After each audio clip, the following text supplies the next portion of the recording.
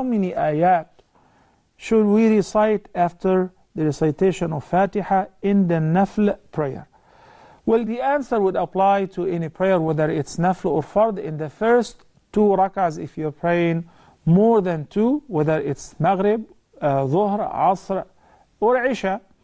And in the case of the Nafila, the Prophet ﷺ recommended that the Nawafil should be offered two by two. So that means you'll be reciting in every rak'ah in the Nafila. In the Quran, Allah the Almighty says, فَقَرَأُوا مَا تَيَسَّرَ مِنَ الْقُرْآنِ Recite as much as you can, as much as you can afford. So there is no specification to how many ayah should you recite. It has been narrated that the Prophet ﷺ stood up during the night prayer for the whole entire night, reciting one ayah and did not exceed it.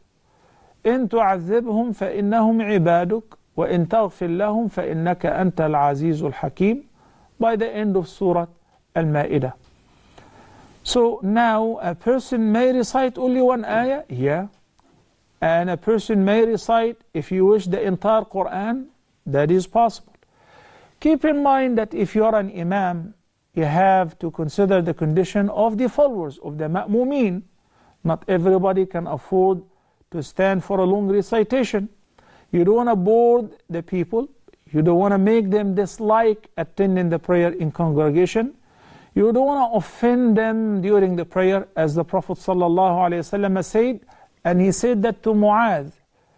إِنَّ مِنْكُمْ مُنَفِّرِينَ there are some of you who would ward people off from the deen, from the prayer, because of the long recitation in the prayer.